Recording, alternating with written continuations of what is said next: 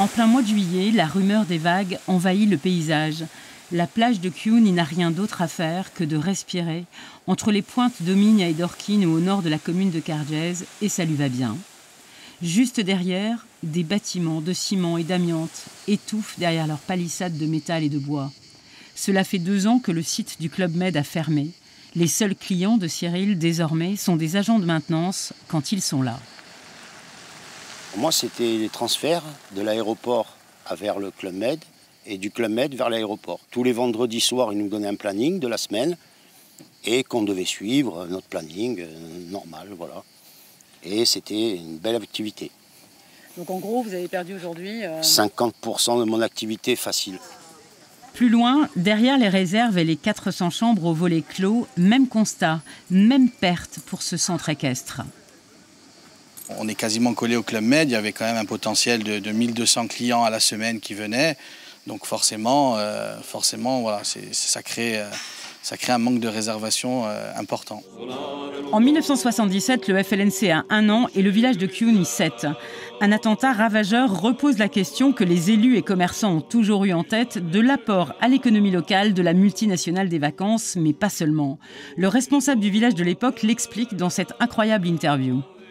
Suite à la convocation adressée par ces messieurs, nous sommes rendus à sur place et nous avons examiné les différents points qu'il euh, proposait. Entre autres, euh, la fermeture euh, du nightclub, l'achat du poisson sur place aux pêcheurs de Cargès, les nuisances que créerait le club par rapport au camping voisin, l'emploi des infirmières cargésiennes sur place. Cette saison-là déjà, Gilbert Trigano ferme le club de Cargèse et s'exprime dans les journaux locaux et Le Monde du 7 mai 1977. Pour nous, dit-il, la Corse est un cas. Pour le résoudre, nous cherchons désespérément l'interlocuteur ou les interlocuteurs capables de prendre acte de nos engagements et d'honorer les leurs. Pour les trois clubs insulaires de l'enseigne, le club avance près de 18 000 touristes accueillis en 1976 et 20 millions de francs dépensés sur place. Ces chiffres tiennent-ils compte de l'économie locale du FLNC L'impôt révolutionnaire qu'il prélève aurait atteint des montants variables selon les sources. 65 000 francs tous les deux mois pour Pierre Poggioli, un des chefs des années 80. Un autre militant, Jean-Michel Rossi, ira en 2000 beaucoup plus loin. Les premiers attentats contre le club méditerranéen conduiront Trigano et son conseil d'administration, qui sont déjà intelligents, à la, la passation d'une sorte de modus vivendi entre le front et le club méditerranéen pour une somme qui atteindra euh, à la fin près de 500 000 francs par an.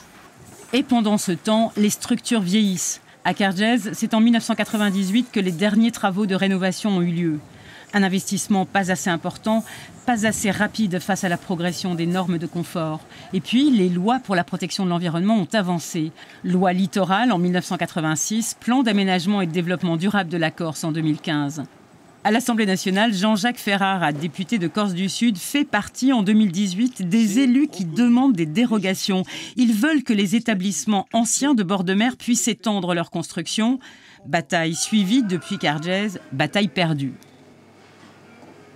Député Ferrara a fait apparemment ce qu'il a pu faire en tant qu'élu de l'opposition. Il a essayé de faire ce qu'il avait à faire. Euh, écoutez, ça n'a pas suivi au niveau de l'Assemblée nationale. Euh, après, ça me paraît toujours compliqué. Euh, des élus qui ne sont pas du, territoire euh, arrivent à prendre des décisions euh, comme ça pour les gens du territoire. Oui, mais parfois, les lois sont les lois. Cette année-là, en 2018, le Club Med est venu discuter discrètement à Ajaccio dans les bureaux des services de l'État et de ceux de l'Agence de l'urbanisme de la Corse.